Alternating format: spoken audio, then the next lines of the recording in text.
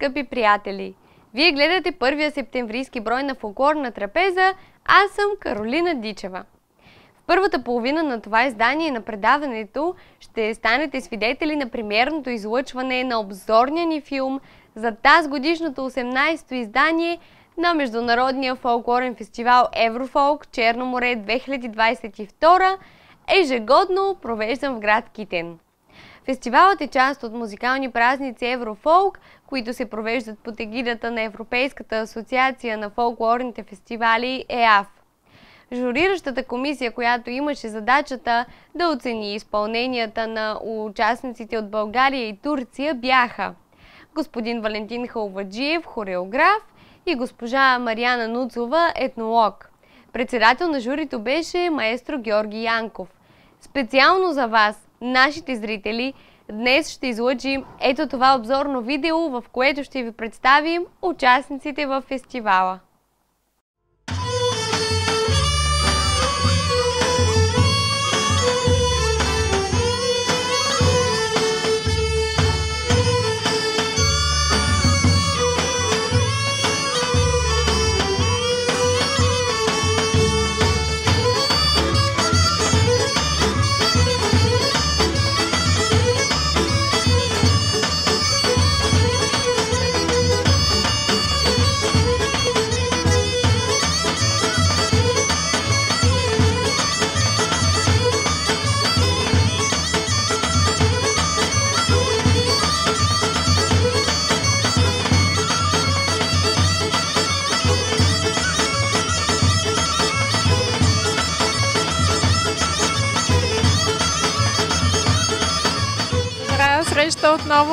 Град Китен. Как сте? Как се чувствате днес? Прекрасно се чувстваме винаги, когато сме тук и на вашия фестивал се чувстваме прекрасно. Аз и моите възпитаници, тетевенските божурчета. За коя година участвате? Ами вече, честно да, да ви кажем, не знаем броя на участията ни, но са много. Миналата година също участвахме и сега така с удоволствие за поредна година участваме на този прекрасен фестивал.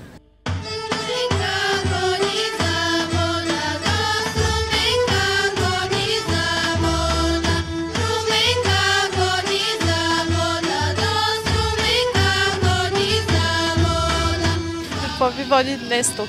Ами, води любовта към българската музика, към фолклора, към представенето, което пък е част от интереса и стимула на всички млади хора да участват в тези фестивали и да обичат българската музика. То е както стимул, така и запознаване с най-доброто от българската музика и от българския фолклор. Участвали сме вече няколко пъти, пред това се в Китен сме били и понеже ни харесва самата организация на, на фестивала и на представенето, всичко в него е добре, подредено, добре изпълнено и затова и ние участваме в този фестивал. А и децата са доволни, защото мястото е забележително не само с града, а и с природата наоколо, която е красива, с Българското Черноморие.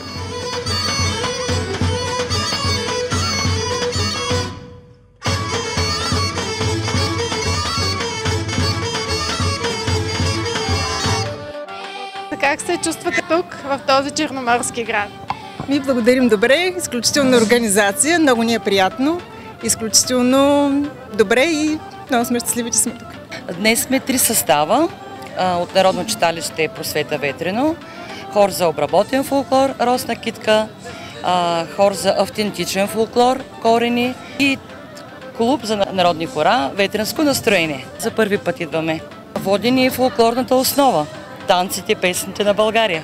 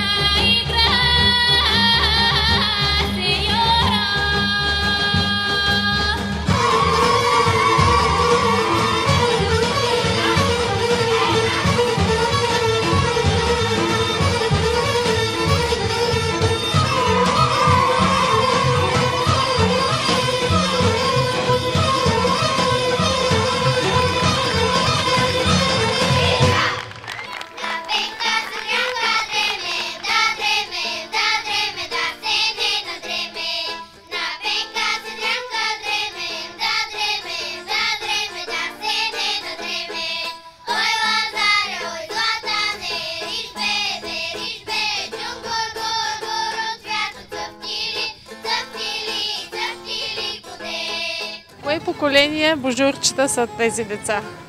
Ами това са трето поколение божурчета. А, с голямо удоволствие работя с а, всичките поколения, които нали, съм така била тяхен преподавател. Тези деца също са чудесни, прекрасни изпълнители, послушни, възпитани деца, с удоволствие работя с тях. Идват на репетициите също, те с удоволствието, но самите те могат да ви кажат. Кои песни спяхте на сцената? Ние изпяхме песните а, на Пенка Седрямка Дреме, Изгрева месечинка и Рипни калинки. Какъв е вашия репертуар? Върху какво залагате, когато ги подготвяте, особено за конкурси? Ами в зависимост от конкурса, но главната ми цел е да възпитавам от тях и да съхранявам северняшкия фолклор, защото ние все пак сме северняци и трябва да поддържаме северняшкия дух, северняшкия фолклор, а, както казват, камъка си тежи на мястото и затова трябва да продължим традицията на нашите баби и прабаби. Виждам, че има голям интерес към фолклора от страна на децата в ТТВ. Така ли е наистина? Да, наистина е така. Децата от нашия край не само пеят, но и свирят на различни музикални инструменти. Факт е и музикалната паралелка в село Чернивид, където се изучават всички музикални инструменти, както и в нашето читалище. Съгласие също се изучават някои народни инструменти. Поздравявам ви за това, че работите с деца.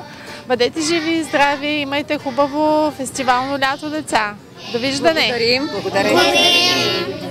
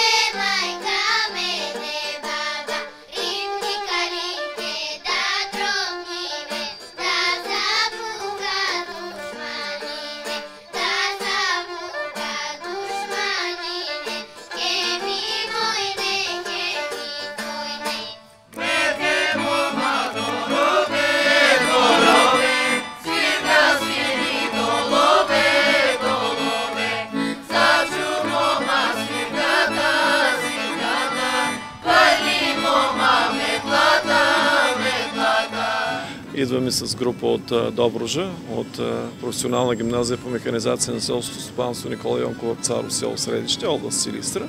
То е едно голямо българско село, което има две училища и където имаме групи, имаме традиции в представянето на български фолклор. Селото е в средата на Добружа, между Силистренска и Добричка област, на границата, където учат много деца от двете области, от Силистренска и едно от големите училища в региона, което се занимава с земеделие, с селско стопанство и заедно с това с извънкласни дейности, като фолклора. Имаме, разбира се, и много други мероприятия и дейности, които извършва училището. Кога в училището има фолклорна група? Значи, аз се занимавам с фолклорната група поне от около 12 години някъде. С още един колега, който беше преди а, заедно с мен, участвахме и създадохме тази група. А основен двигател на групата, така да се каже, който отсъства в момента, това е Стоян Дечев. Той е акордеонист, а, известен български доброжански акордеонист, който е и така да се каже лицето на нашата група, но за съжаление този път е ангажиран и в друго мероприятие и не може да присъства. Но иначе музиката, която чухте на на запис, всъщност е от него. И той има изключително много записи в телевизиите, в радиото, в международни фестивали и така нататък. Благодаря ви за това интервю. Пожелавам ви хубава вечер в Китен. Да, благодаря. Благодарим. И ви пожелаваме успех на фестивала, който да се развива все така и все повече да привлича младите хора за, българския, за българският фолклор и за българските традиции.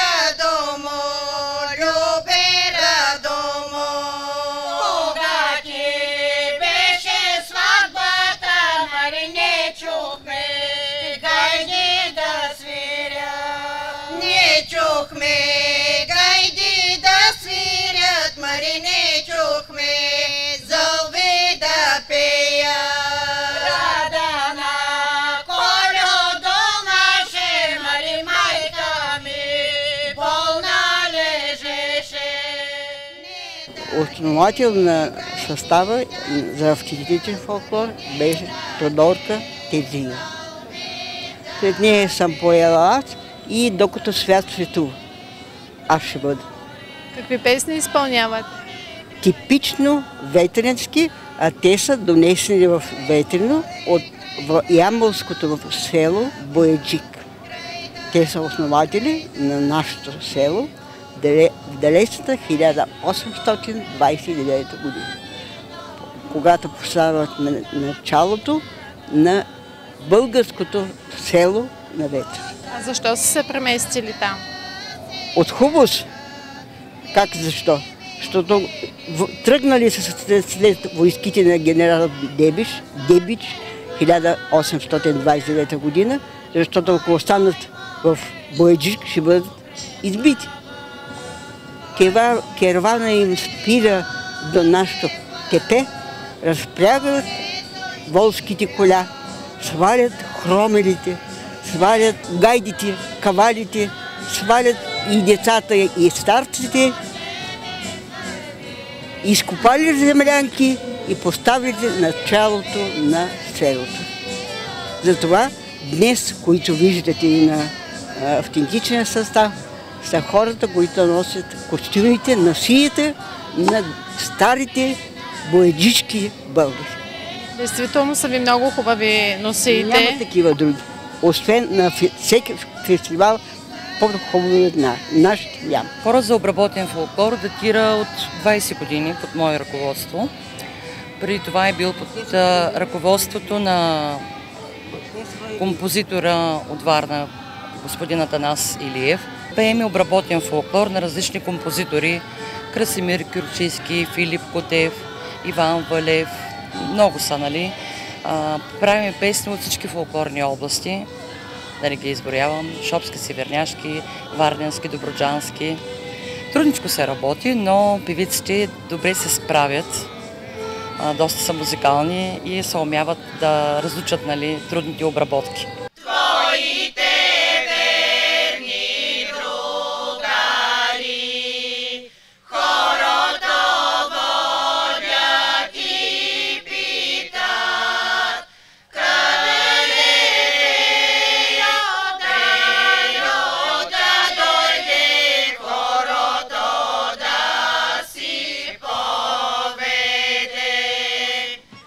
Миналата година чествахме 40 години от създаването на детски танцов състав Ветринче. Ветринско настроение, по-късничко е създаден. Мисля, че беше 2008 година. Направихме клуб за народни хора. Много от нас са танцували в детския танцов състав, тъй като повечето сме местни хора, някои от момичетата Сега също децата зад мене. Да, сега танцуват и нашите деца също. Така че продължаваме традицията, правим го с голямо удоволствие и ще продължим докато можем. Благодаря ви за това интервю. Продължавайте докато можете и дори когато не можете. До нови срещи, хубаво лято! Благодарим. Благодарим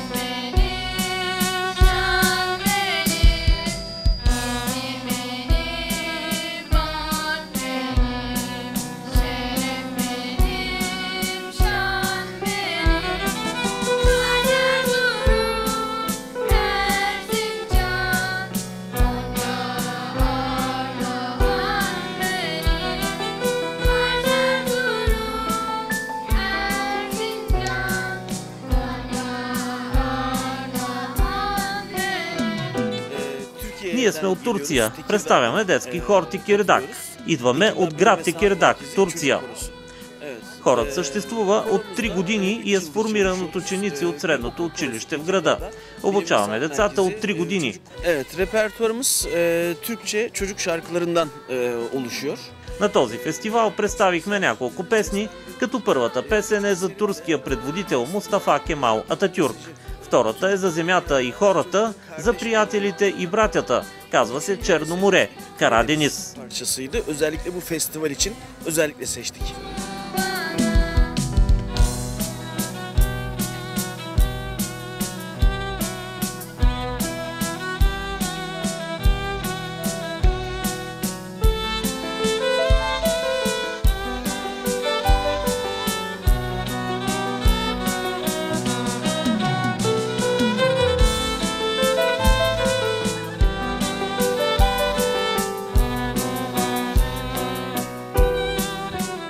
Намерихме фестивала в интернет, работихме с групата и дойдохме тук. Радваме се, че ви открихме. E, kesinlikle çok mutluyuz. E, çocuklarımız çok mutlu. Благодаря на екипа ви, на вас, на всички хора, които ни посрещнаха тук.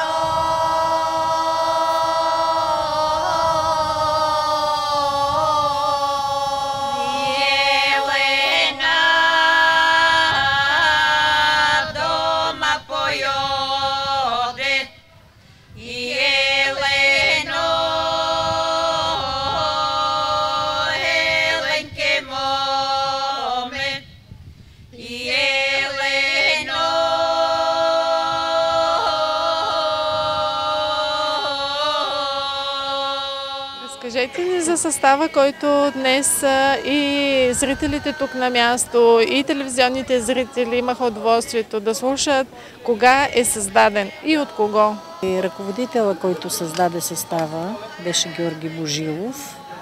И ние сме по-млада, имаше по-стара група, ние сме вече по-младата група. И започнахме, събрахме се, започнахме да пееме вече а, 12-13 години. Прави впечатление, че репертуара ви състои само от автентични песни и то изпяти а, по оригинал. Кой ви учи? Ние Кой ви самички си се учим от бабите, от майките. Никой ни не е учил, нямаме така ръководител да ни учи, ние си самички се. С нас имаше по-стари, по-стари жени, къде пееха. И ние като деца по нещо малко сме пеяли, ама много е слабо. И после от тех те ни, почти те ни научиха да пееме. Тия, тия жени сега вече едни не са и между нас. Вече Бог да ги прости с тия. Какво е специфичното на вашите песни? Ами, пяване и отпяване задължително. Ние пееме а, автентичен фолклор на двугласен. Значи, а, първото е викачка и вторите сме влачим. Втори глас. Ня- Няколко думи за село Радуил, къде се намира, с какво е известно? Еми, село Радуил се намира до на 10 км от Боровец. От нашото село извира река Иба, река Марица. А, може да се гордееме от селото. Правим фестивал и ние също. Бобфест. Тази година е на 3 и 4 септември. Селото ни е много красиво. Намираме се в полите на Рила. Просто уникално място, който дойде да го посети. Всеки търси нещо да си закупи, да живее в нашето село, но за жалост вече не останаха свободни къщи. Благодаря ви за това интервю. Накрая да споделите само радвате ли се на тази награда? Много се радваме, просто. Много се радваме и сме доволни, че ни оценихте нашите песни, труда. Заслужавате. Да, много сме щастливи от факта, че оценявате нашето пеене и че ние продължаваме да поддържаме българската традиция, колкото се може, дано успеем да я предадем и на по-младите в нашето село, за да продължат това, което ние правим. Дано. Нека така да бъде. До нови срещи. Хубаво лято. Благодарим много. Всичко хубаво и на вас. До нови срещи. И към стара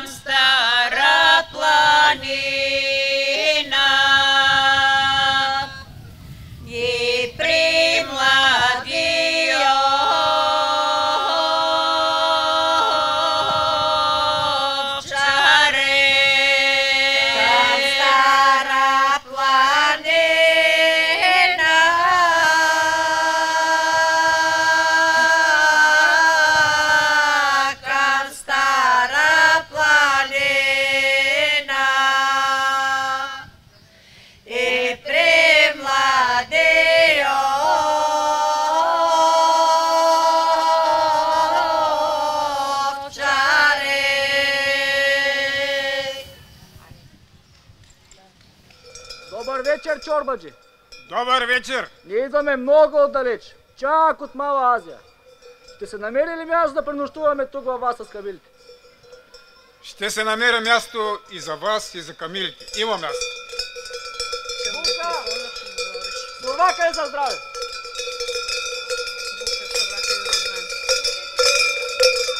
Сурва, сурва година, весела година, пожил поздрав пак до година. Сурва, сурва година, весела година, пожил поздрав пак до година. Обичаят камелария пренесен от Мала Азия.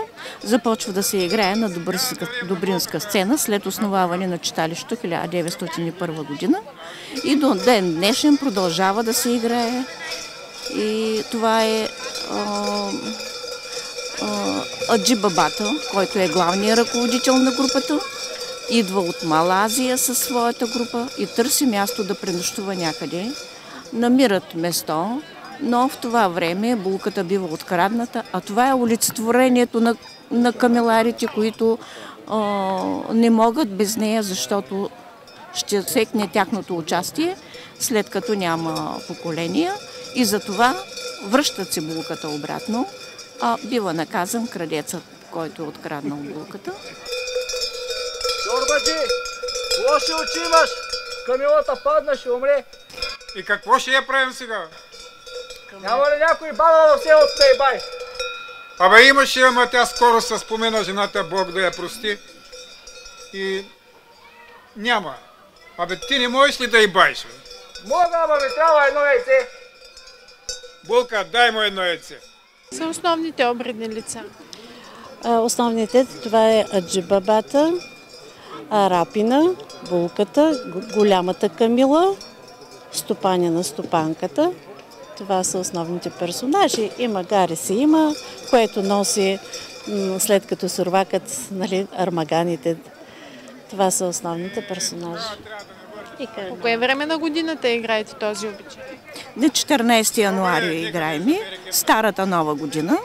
Всяка година си ходим из село, обикаляме си и си играем. Традицията ни е запазена от дълги години, значи аз 30 години съм работила в читалището. Не е, прес... не е преставало да се играе обичаят камелари до ден днешен. А как? Продължава традицията. А от какво са изработени костюмите? Костюмите са об- изработени от овчи кожи, а, с, с звъни, естествени, да, с, с звънце. Това им са и маските по същия начин. Всичко е овча кожа, естествено. Благодаря ви за това интервю. Споделете как се чувствахте в атмосферата на фестивала, какви впечатления имате. Ами, просто много е, много е добра организацията. А, ние сме много щастливи нали, за тая голяма награда. А, чудесно е. И развълнувани от това, че просто бяхме така наградени.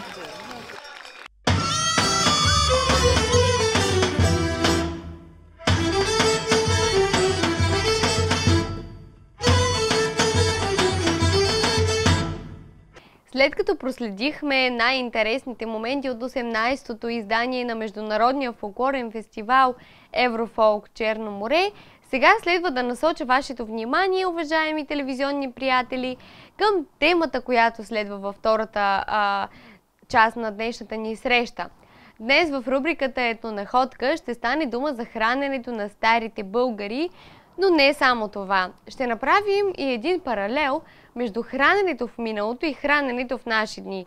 По темата ще говори доктор Светлана Моминска, диетолог, педиатър, началник отдел профилактика на болестите и промоция на здравето в регионална здравна инспекция Велико Търново.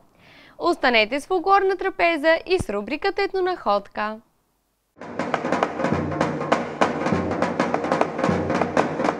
Вече обявихме темата, в която ще си говорим днес, затова започваме по същество.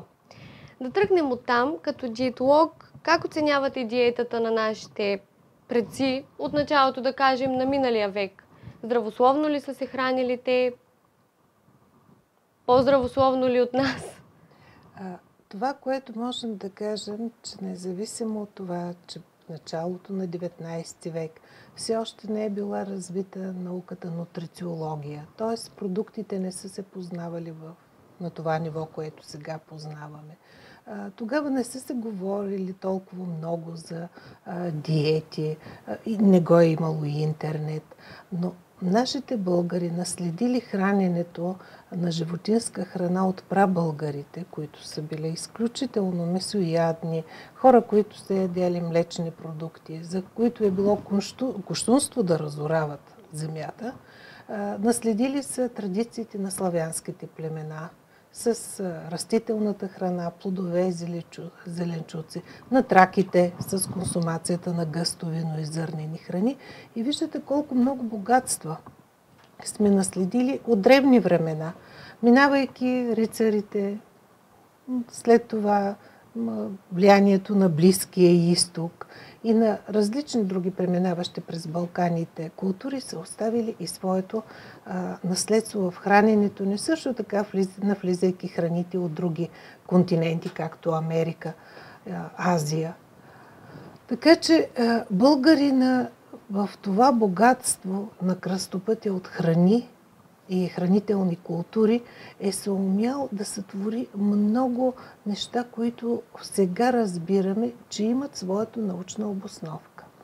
Веднага ще кажа, нищо лошо няма в нашите трошии. Ние си произвеждаме цяло лято до късна есен богатство от зеленчуци. И българката, а сега вече и българите, са се разработили толкова много на, начини на консервиране на зеленчуците, дори и на плодовете, които правим на компоти, на, сладка, на мармелади, на конфитюри. Виждате само колко различни неща имаме, докато в англосаксонската всичко е джем. А ние си Да. имаме сладка, а, конфитюри, мармелади. А, и при положение, че тук се е подслаждало дори в началото, както се ограничаваме вече да говорим за 19 век, с тръстикова захар. То не е и захар, то е петмес. Точно тук за Търново са характерни едни дребни сладки, наречени мастакулки.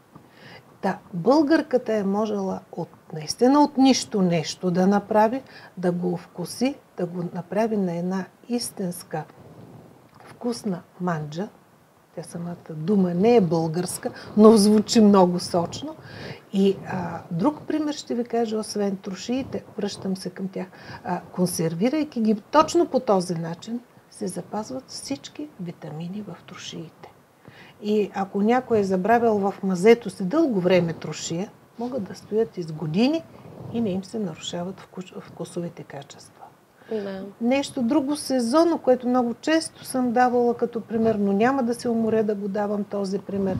Сега е времето на така наречените зелени. Има спанак, има лопуш, лобода и други листни зеленчуци, които ние също приготвяме на естия.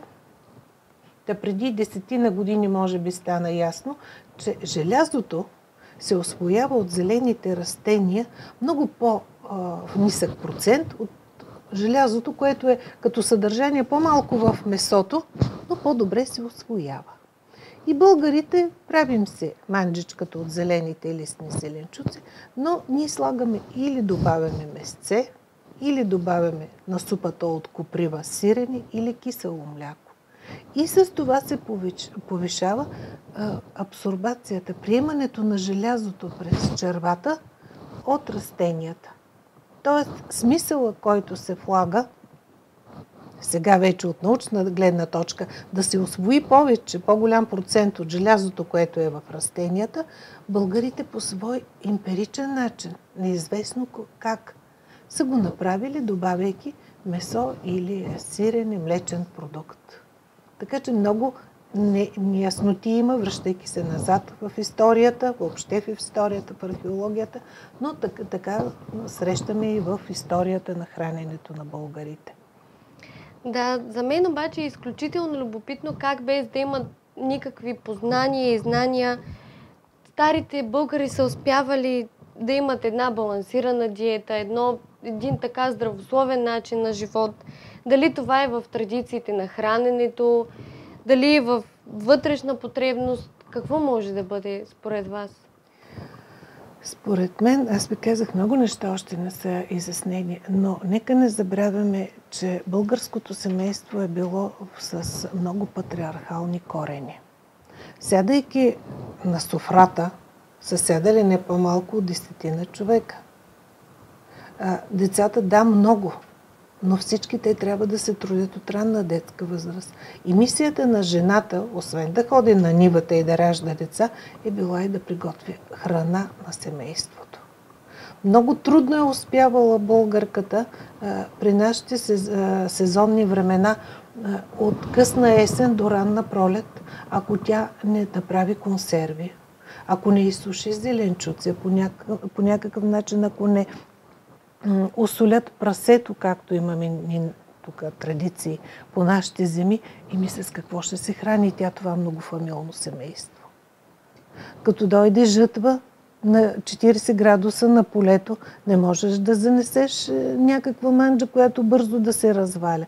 Пак трябва да се... И а, точно тази патриархалност на голямото семейство, това, че имаме а, голяма разлика в температурите по време на различните сезони, че в едно семейство са живеели и прастара баба, прастар дядо, в същото време кармача, някоя от големите дъщери бремена. Точно това е карало българите да правят такава храна, която да доставя удоволствие на всеки, да могат българите да са здрави, за да изкарват своя поминък. Може ли сега да изброите храни и продукти, които в миналото много са се използвали, а в наши дни някак сме ги позабравили? Определено се насочвам към нашия регион, а, за да могат а, хората на моята възраст и по-възрастните наистина да се спомнят, че до недалечното минало във всеки български двор се сееше бакла. Това е растение от бобовите култури, което все още някои хора се го съдят, но при положение, че беше масово, сега вече много рядко се среща тази култура. Друго зеленолисно и сезонно растение в момента е така наречената лобода. Това е много, с много по-високо стъбло, не е лопуш, не е коприва, с много еластични, приятно сиво-зелени резедави листа и на времето българките са се го готвили и са правили дори сърмички с него. А, по нашия край преди години, по време на едно проучване, бях изумена, което ме накара така да направя лично за себе си едно проучване, защото видях, че семейства в района на град Златарица готвят штир. И не само го готвят, но го запечатват и в буркани. Т.е. правят се консерви. И аз възкликнах, нали, «Ами как така штир, това е бурен, но майката, която беше довела детето си за изследване, казва, въпросът е да не е изкласил. Иначе се се готви, като копривата става много вкусен, затова го затваряме и в буркани. Нещо, което в моето детство имам спомен, а, че се сееше в нашия край, това беше фии. Много малко хора Да. го знаят. Това е тип дребна леща. Точно като лещата, то се е от рода на бобовите. Единствено, че повече нагарча, но българките пак и тук бяха хванали тънкостта на приготвяне на вкусната манджа или печено като либлибийки и скисваха го дълго време. Както боба и за това е не само да умекне, той се, се изкъсва, изкисва, за да излязат фитатите, които образуват газове в корема. И ето още едно. Вижте българите, българите българките как са намерили също изход. Да, за да не се подува корем, когато консумираме боб, който е традиционна наша храна, се добавя джоджан, който е от рода на ментата. И като не се подуе корема, когато не е дискомфортно, какво пием? Пием ментови капки. Да. А ето българите се слагат клончетата джорджен, гюзон, както се казва по нашия край, и така по-леко боба се освоява. Да виждате колко много тънкости. Нещо, което също много са консумирали българите, това са били млечните продукти. Много се е консумирала извара, тъй като от отпадния продукт, когато подсирят сиренето, от така наречената сурватка, българите не сме разхитителни, пресичат белтъчините в тази сурватка и се получават из- извара. От тази извара са се правили най-различни ястия. Не само да се яде а, като тип сирене или за баници. Баниците са били лукс. Те са били само по време на празници. Но изварата се е приготвила по най-различни е, начини, с зелен лук сега, с яйца. Има най-различни стари рецепти. А, така че млякото, млечните продукти, сиренето, ни като че ли ги позабравихме и за това пък и търговските мрежи се на- намесиха и сега не е това, което са били млечните продукти. Да. На мен ми се струва, че сега в днешно време тези неща отново придобиха, така да кажа, популярност и да кажем, завърнаха се. Какво мислите вие, как се обяснява това завръщане в последните години на тези стари храни, например видове житни култури различни, като лимец, овес, различни семена, кълнове, дори свинската мас напоследък стана отново популярна, забравена съставка. Години наред българите считахме, че признак на нисък социален статус е консумацията на типов хляб, на ръжен хляб. Трябваше всичко да бъде много фито. Може би за това, че дълги години ние сме били беден народ и сега искаме нали, да се наваксаме тези комплекси. Но българина в същото време е много интелигентен. Говоря въобще. А, ето сега, следейки всички новости, дори в диетологията, в нутрициологията, а, вече ние сме много добре запознати какво е ГМО, въпреки че все още не се знаят последствията. А, знаем за всичките тези а, набухватели, отсветители, какви последствия могат да доведат. И сравнявайки как едно време нашите баби са пекли хляб, който не е съдържал мая, а сами са си правили квас от царевично или ръжено брашно, което е ферментирало по определен начин и след това са се добавили тяхното брашно, което са мелили. Обикновено това а, не са били финни бели брашна. Българския народ е имал твърда пшеница, не като сегашните, по-голяма част от тях се, дори се доближава до фуражните. И затова днешните хлебари им е много трудно да направят качеството на хляба, който е бил с твърдата пшеница, който е бил с лимеца. И няма набухватели. Има само малко сол, месене, месене, вкарване на въздух в брашното и печене в пеща на жърта, която пеща си е в къщи. Правили си се по същия начин и козунаците. И в един момент, когато българина направи паралел, бе, защо дори хляба не изглежда така, както го помня в моето детство? Той няма същия аромат, няма същия вкус. И започнахме да се връщаме назад. Най-малкото да се спомним хляба, който се е правил, защото то не беше толкова отдавна, по какъв начин е. И вече много семейства си пекат хляб в къщи и в това няма нищо лошо, защото непрекъснато се появяват новини и в Световната здравна организация, и в контролния орган ЕФСА, който е на Агенцията по храните, че много от подобрителите, които се вкарват за подобряване качеството на хляба, той да не плесенясва, да стои пухкав, да, бъдете, да има търговски вид, много от тях в по-продължителен етап имат вредни за здравето действия. И затова хората се връщат назад. Той така си има и един, едно послание назад към природата, не само при хляба. Виждате вече много от хората избягват консервите. При възможност, че имаме всичко възможност, дори 4 сезона да се използва сурово.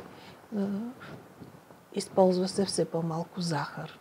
На времето не се е използвало захар, защото просто захарното цвекло не е било познато в България, така че е имало други природни подславители. Връщаме се към свинската маса, защото си е традиционна българска. Това е природен продукт.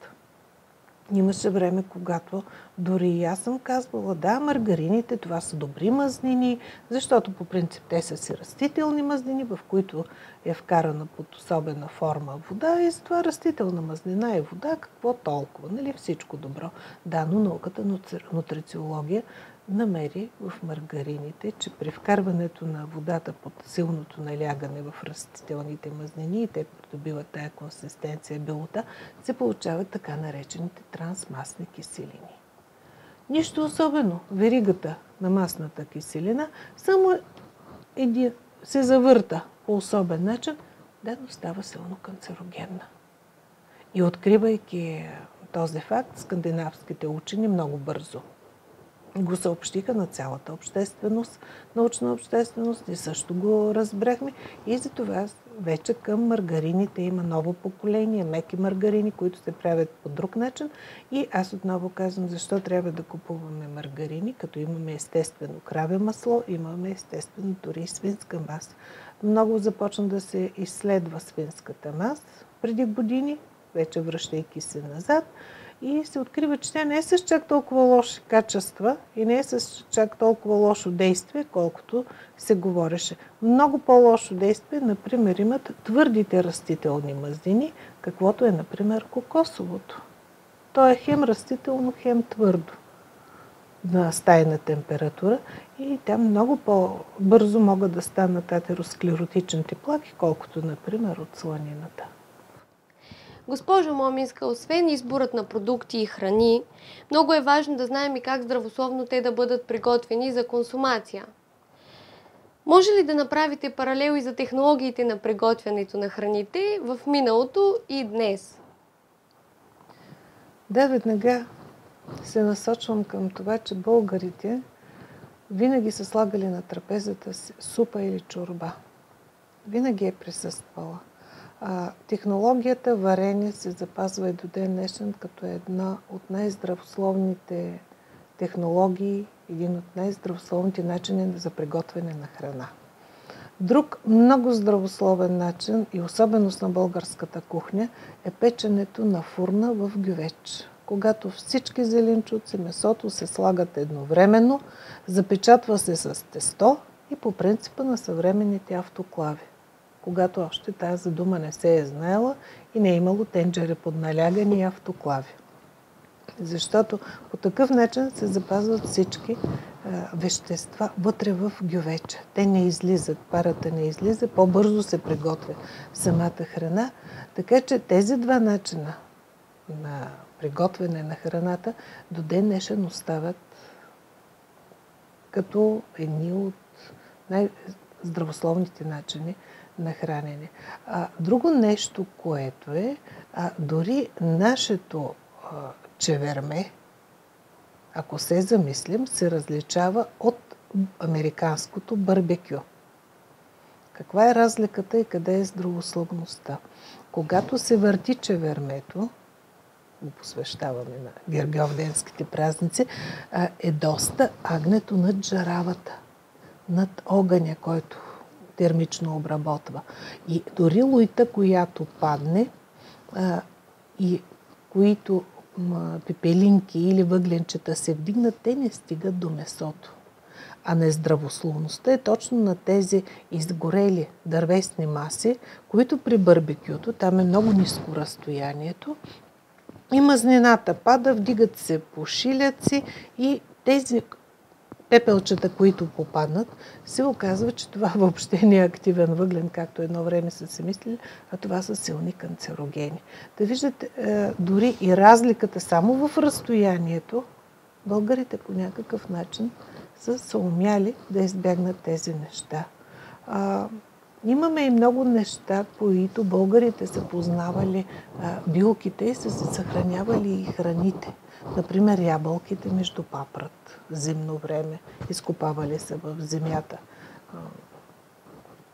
Ями не много дълбоки, покривали се с папрат набрана от гората и така ябълките са се запазвали цял сезон пресни и годни за консумация. Така че виждате и днешните паралели с здравословността. Ние си имаме корените на здравословното хранене. А, да, ще кажете ми, българите много пържим. Много по-късно е дошло пърженето. Много по-бързо, по-късно е дошло, но и нещо друго. Когато преди се е пържело, е било на огън. И когато пърженето става за кратко време на висока температура, не се отделят толкова, акроолейни вредни вещества, които се отделят на електрическите котлони, когато е на ниска температура. Така че и сега а, трябва да се придържаме към печенето на фурна, не на скара. Сега имаме модерни начини на обработка на храната на пара. И варенето си остава класическото, най-традиционно и, здраво, и, и здравословно приготвяне на храна. Да.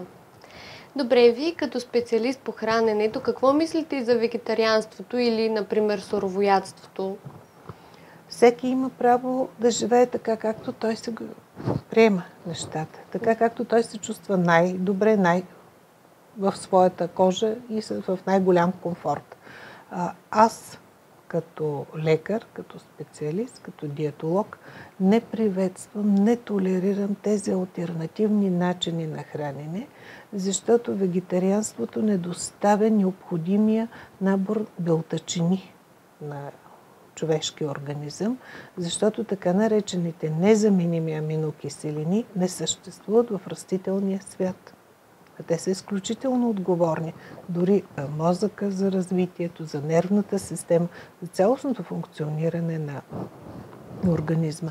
Така че всеки възрастен нека живее неговия си живот, да се храни както си иска, но за децата нека всеки да се замисли този млад, растящ организъм, ако ни го лишим, за това, защото ние сме приели този начин на живот, ако обречем и детето си на нашия начин на хранене, като не му даваме мляко, яйца, риба, хайде месо да не му даваме, като толкова сме нали, привърженици на вегетарианството. Но какво дете ще израсне? Ако не му правим пък и иммунизации, обричаме детето си на много болести. Затова болните, така е казано и в Библията, и дори и по време на пости, не постят бременните, болните и малките деца. Затова децата си имат своя специфика на храненето, както и възрастните хора. За суровоядството. Много нетрадиционен начин на хранене. Естествено, всеки един диетолог, всеки един лекар ще каже плодовете, зеленчуците, колкото се може максимално сурови. Но месо, яйца, сурови, риба, всички те могат, тези изброени храни, ако не минат температурна обработка, те крият много паразити в себе си, много бактерии. Затова са забранени и така вкусните кремчета от разбити яйца сурови. Защото яйцето по никакъв начин не ни показва, че вътре има салмонела, ако е заразено. Няма защо да крием, че салмонелозата е смъртоносна болест. По същия начин в рибите има много буквално паразити, едри паразити. Месото може да е опаразитено. Имаме случаи на трихинелоза. Не в далечното минало, ловджи, които, ето не е суровоядство, но от необработеното плинно месо, което не е минало температурна обработка, бяха направени домашни колбаси. И от тези домашни колбаси, които се подлагат само на сушене, след това имаше заболели с трихинела. Така, така че огъня не само придава вкус на храната, огъня и дезинфекцира и предпазва от много болести.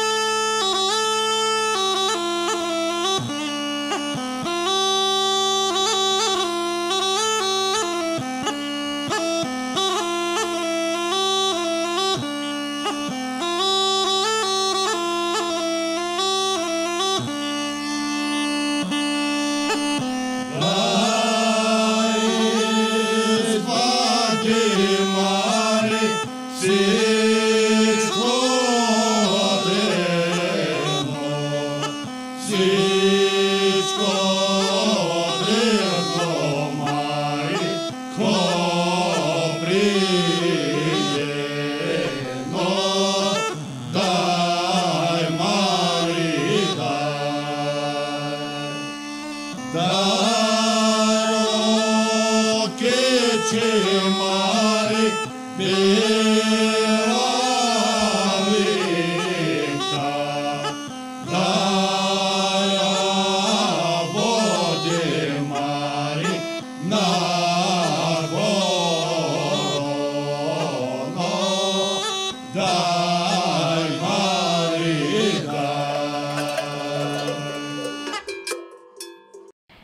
всичко, което ви показахме днес във фолклорна трапеза, сега е време да се разделим, приятели.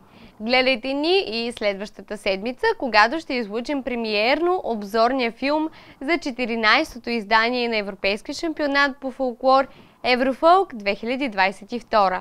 За днес, довиждане!